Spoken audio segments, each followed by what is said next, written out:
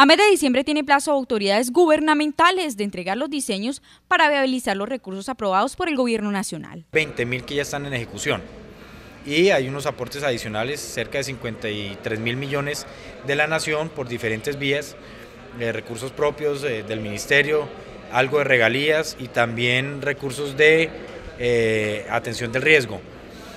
Igualmente hay unos aportes del municipio. Sacar muy rápido los estudios y los diseños de las dos consultorías, porque entre más rápido logremos sacar estos estudios, más rápido vamos a acceder a los recursos.